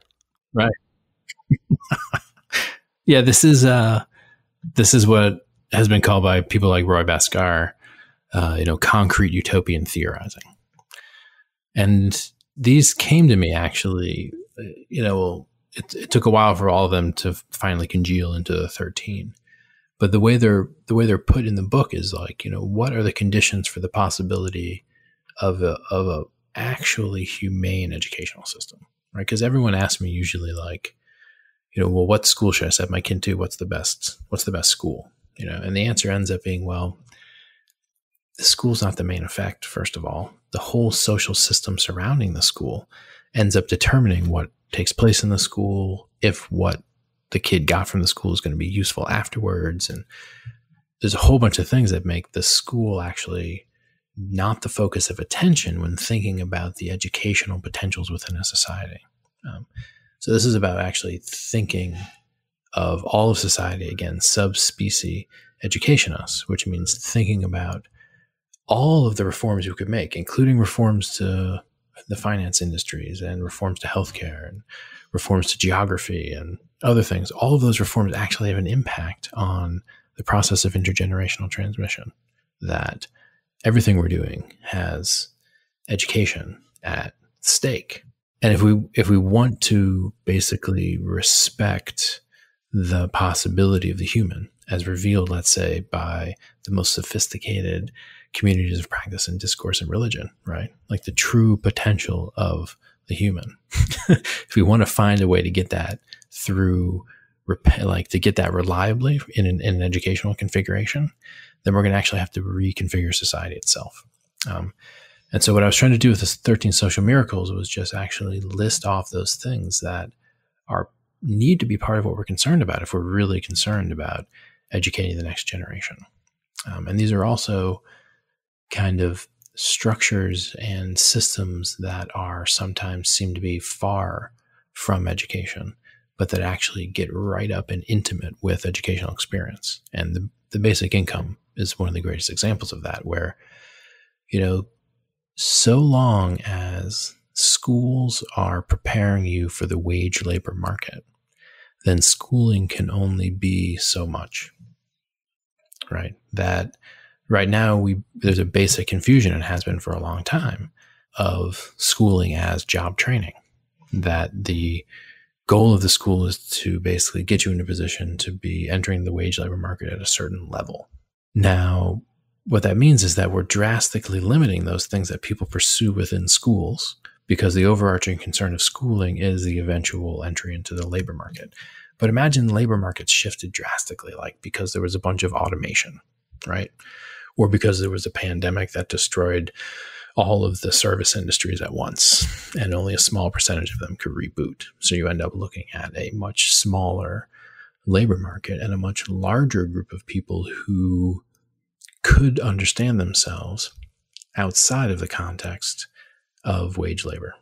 And this is um, this is, you know, it's not historically unprecedented because before the capitalist world system emerged at the end of the long 16th century, uh, the category of wage labor didn't really exist nearly as much, if at all. And if you if you look back into other, uh, you know, more ancient civilizations, you know, this notion of the wage laborer is a specific thing, and it's going to become less dominant. Uh, it already is. People are predicting it. So now imagine a school system that runs where the main overarching concern of the school system is actually not preparing you to get a, a job, but preparing you to make good on something like your basic income, right? And but you ha- that only works if you've at the simultaneously if you've also reformed the finance sector, right? Because the basic income guarantee could actually make it so that these people are then preyed upon by the finance sector, or the whole thing couldn't work because of the needs of what's happening in the echelons of international banking. So you have to reform the whole entire monetary system, actually do the basic income guarantee, and the nature of banking needs to change. The nature of currency needs to change, or else that won't work. But then you also have to make the energy renewable because if you release a whole bunch of energy in terms of money into people and empower a bunch of economic agents with better schooling and a basic income, then you could just drive consumerism and, uh, you know, like a whole bunch of other dynamics that would tax the energy grid to the point of escalating our already self terminating mode with energy. So you need different energy. Uh, and that's of course related to the ecological question, right? So you, so the whole point is that there's this constellation of interrelated, huge systemic things that at the end of the day boil right down to that kid in the chair in the school. And so the social miracle is, is not an attempt to say, hey, I figured out how to do each one of these. It's not that. and it's not even saying like this 13 is the set that is necessary and sufficient for civilization to work for the next 15,000 years. Like it's not that. It's it's a thought experiment. And it's saying if you really want to think about education, this is the level at which you need to exercise your imagination. You know, that the first place we had uniforms and standardized tests was the military. That the military industrial complex was the main impetus behind some of the largest educational reform policies within the United States following Sputnik, right? The SAT, the science, technology, engineering, and math, a whole bunch of those things, the growth of places like UC Berkeley and elsewhere, that's military industrial money directly influencing educational institutions, right? So if we don't demilitarize, then even the best UBI, not UBI, the, that's the wrong phrase, but basic income, healthcare, all that's there. But now the thing's churning for the interest of military. Mm, oops, that's another self terminating bad educational situation. So you end up having to deal with even at that level the military. And once you've done that, then you have to start thinking about the organization of the land itself, the basic identity of place, and the emergence of something like a new way of thinking about urbanization and regionalism. So I'm weaving together all of the 13 social miracles in kind of a, a single conversation. And of course, the first one's the debt jubilee. And this one's actually on people's minds now, which is what's interesting because, and this is true for a lot of the things in the book itself, which is that when I was writing it, these things were kind of edgy and kind of like, well, okay. And then the pandemic hit, and then a whole bunch of the stuff that's in the book actually became more relevant, more timely as a result of the drastic speed up of a bunch of trends. Uh, and so the debt jubilee seems to me to be almost a necessity at this point in terms of the economic situation. That the debt and specifically the debt of individuals. There's a whole other conversation about debt jubilees for institutions and countries. But if you just look at student loan debt alone, student loan debt is part of that intergenerational warfare we were talking about because it's, it's crippling a generation and it's demonstrably predatory. So, this is an example where if you were to have a non debt based system of higher education, it would change the possibilities for what happens in colleges and universities. And I think we already discussed the education commodity proposition and how that undermines the dynamics of teacherly authority. But this is what's taking place on college campuses because these kids are taking out mortgages to sit in a classroom for four years. Um, and so they are consumers rather than learners. So there's a whole bunch of things within the social miracles that are in isolation a bad idea like a basic income is a bad idea. If you do it, that's it. If you just cut people a bunch of checks and don't change anything else about society, like that's actually a terrible idea. right. And you can say that about many of these things. Um, you can't, for example, demilitarize in one part of the world if you don't demilitarize everywhere. Like if, if America was like, oh, we're all putting our guns down, then we'd be invaded and destroyed. right. So there's a, there's a, and uh, there's a careful kind of sequencing of thinking about changing systems at this scope. And it's not even something that can be uh, thought of as like a political platform or any kind of logistical thing I'm suggesting here. Again, thought experiments.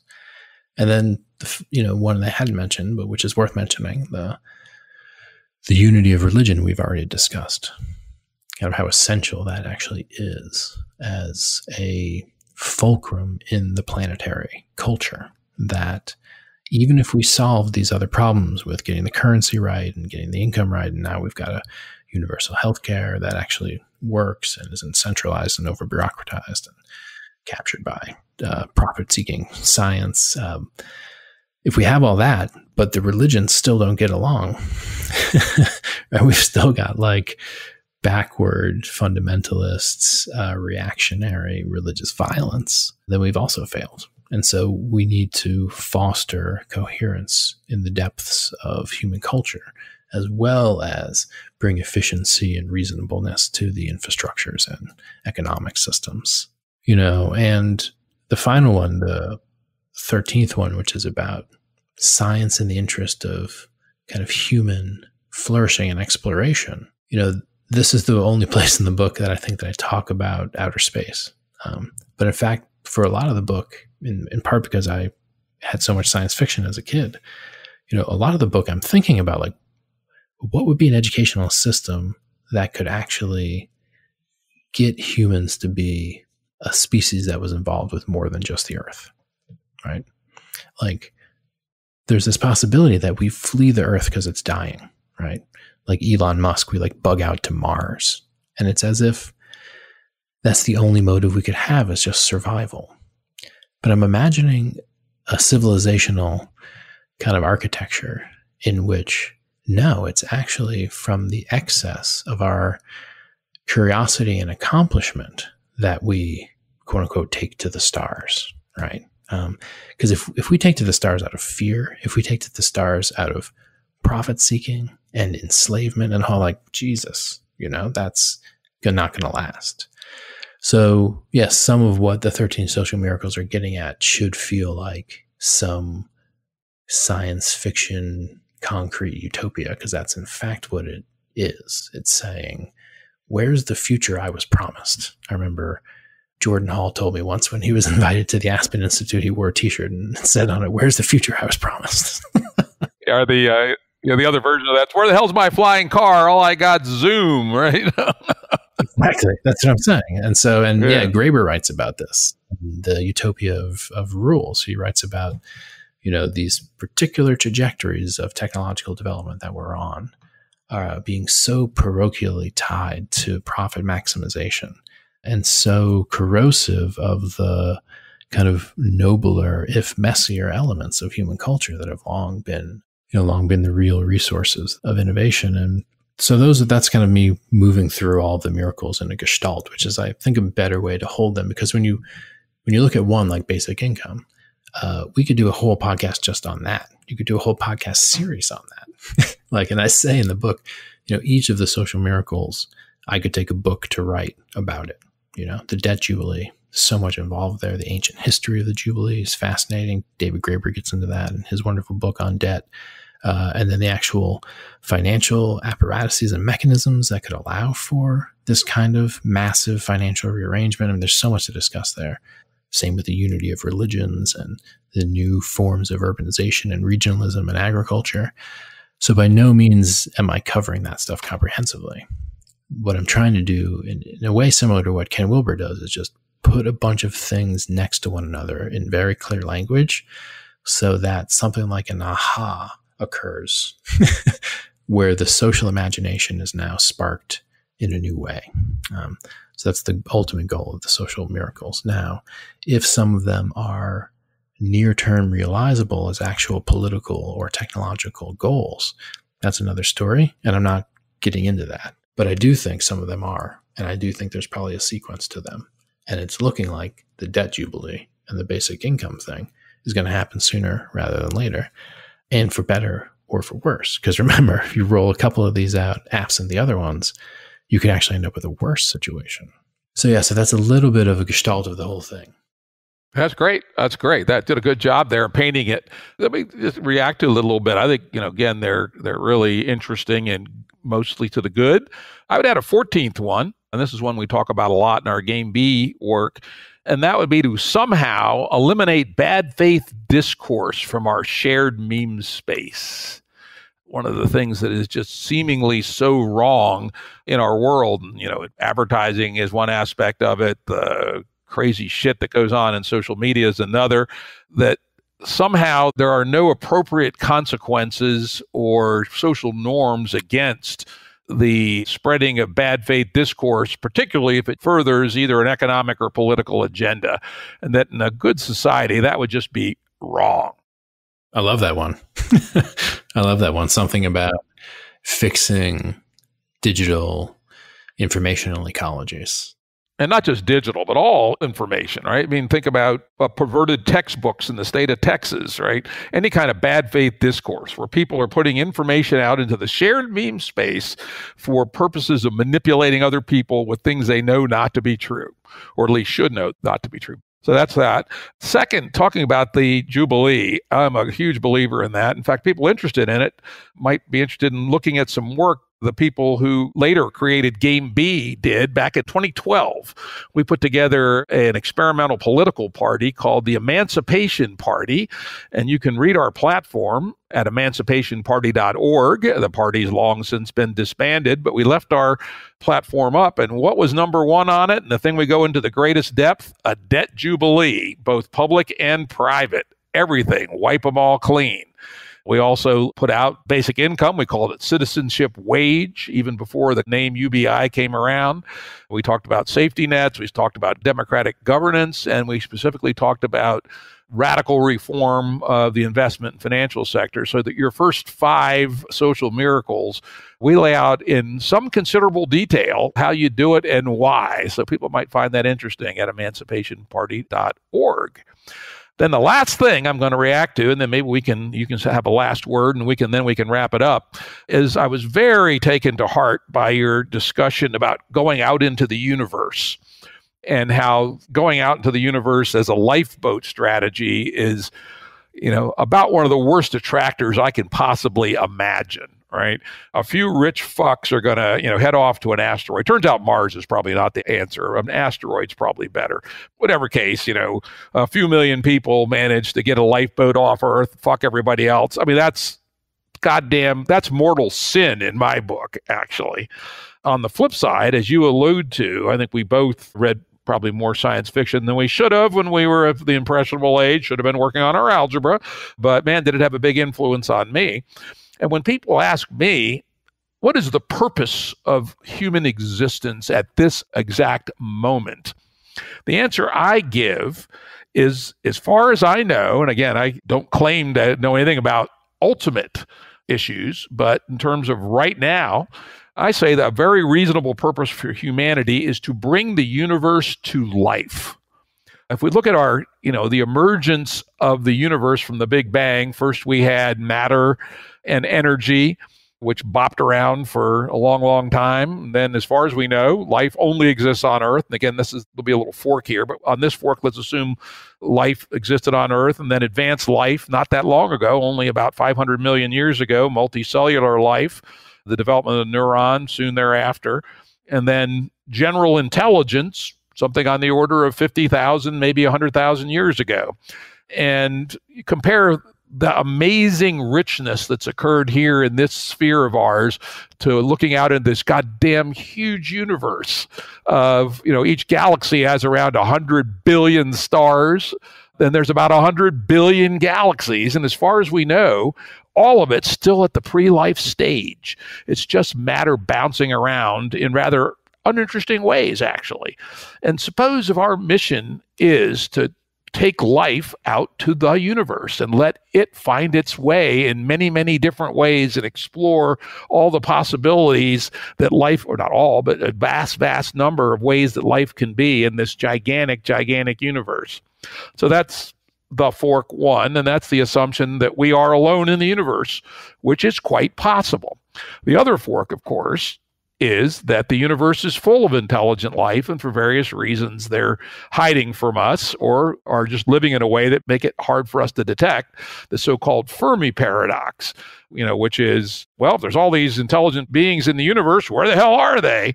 And i would say that we should be agnostic on that issue but move forward on the as if we're alone trajectory until proven otherwise. And, you know, that's, I think, very compatible with your view of thinking about moving out into the universe as a huge positive, not as a, a kind of a depraved lifeboat strategy. Mm, totally. And moving out into the universe only after we've gone fully within to figure out what values and cultural forms and commitments and you know that human beings are actually bringing to the universe you know because i think the fascination with the kind of exploration of the material world and of course space exploration is kind of the pinnacle of what was already been an impulse within the human to explore. That impulse can also be turned within basically. Uh, and so i'm suggesting that both of those occur simultaneously that the universal de-alienation and rehumanization uh, occur before we get off the planet. Uh, because otherwise we're bringing our shit everywhere.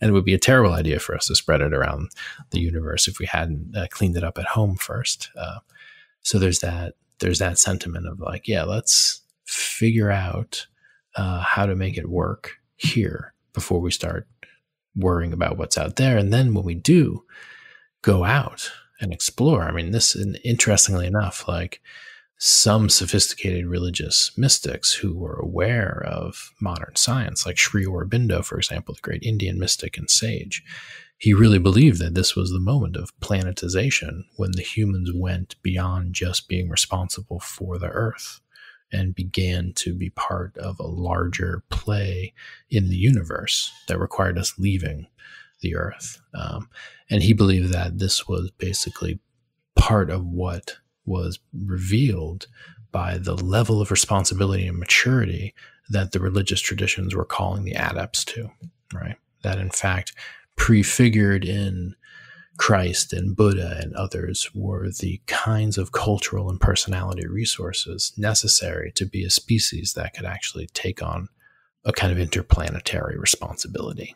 So that's a kind of interesting way to bring this together into what I call sometimes a religious transhumanism, um, which is not a humanism merely of a techno uh, kind of technologically optimistic future, but one in which you know high technology is wedded to basically high consciousness and high aspirational and kind of like radical maturity and sanity. Then it's a much more reasonable thing to think that humans could actually go and colonize other worlds. Um, right now, we can barely survive on this one. and so it's looking like the near term space stuff ends up being uh, quite dicey. It ends up being the asteroid mining and the surveillance satellites and the super expensive billionaire uh, day trips to outer space and stuff like that. Um, but yeah, the only way to have one that's, I think, sustainable in perpetuity is one that comes with the kind of ethos that uh, I'm trying to get at, which I think you're trying to get at. So, yeah, so there's incredible potential futures for the human. And this, again, I think is part of what is hidden within the semantic potentials of what's revealed in the mystical network, right? That the world we've known is only the one we're in now, that there's a radical transformation and reconfiguration of the human that's coming, that's imminent, um, that will make us as different from modern man as modern man is from cavemen, right? And so that intuition's been articulated across a bunch of religious traditions as the apocalypse or, or uh, you know, the Zion or Shambhala and et cetera, et cetera. And so, you know, the utopian visions, which picked up that thread, and then the concrete utopian theorizing, which gives us the 13 social miracles. What we're trying to do is find a way to, to, to collectively, you know, bear this transition, basically. And, uh, yeah, I certainly wouldn't get on a space ark with a bunch of crazy uh, billionaires. you know, I like to say, because uh, I work in this field of existential risk and catastrophic uh, risk and civilizational collapse and stuff. It's like I like to say there is no escape hatch. No practical one. Well, if you don't solve the cultural problem, then every escape hatch actually brings you deeper in. Because, yeah, you escape that island with your guards, but if you haven't figured out how to actually deal with people, right, outside of a system of currency where remuneration is secured, right, just people, uh, then there is no, you've actually gone deeper in to a problematic situation precisely by trying to escape. Uh, so yeah, the the only way out is through uh, together. I think that's a good place to end it. We've we've gone as far as we can go, right? I think, which is you know that we have to you know retune what it means to be human in the context of an educational system that can replicate those good values and refine them going forward, so that we can go out into the universe and do good and not harm. Yeah, We've come a long way. This has been a wonderful conversation, Zak. You know, I think this is one of the deepest and most interesting series of talks I've had on my show, and I am pretty sure the audience will like it. Thank you, Jim. It's it's been a pleasure. It really has. Yeah, it really has been. It's been uh, been an education for me too. Production services and audio editing by Jared Janes Consulting. Music by Tom.